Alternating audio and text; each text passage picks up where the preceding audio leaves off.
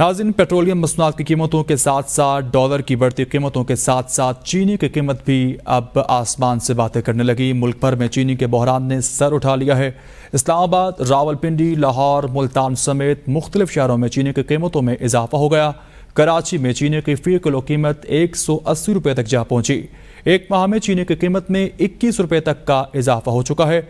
Wholesale बाज़ार में kilo चीनी की कीमत एक सौ जबकि रिटेल मार्केट में एक सौ तक जा पहुँची। और होलसेल एसोसिएशन के मुताबिक सिर्फ़ एक ही दिन में एक्स मिल कीमत में भी साढ़े पाँच रुपये तक का इजाफा हुआ है। चीनी की स्मगलिंग के बायस से डर है कि यह डबल सेंचुरी ना कर जाए। दूसरी जानब शहरियों का कहना है कि बाज़ार में हर दुकानदार ने चीनी के अलग रेट रखे हुए हैं। पेट्रोल महँगा, बिजली महँगी और अब चीनी खरीदना भी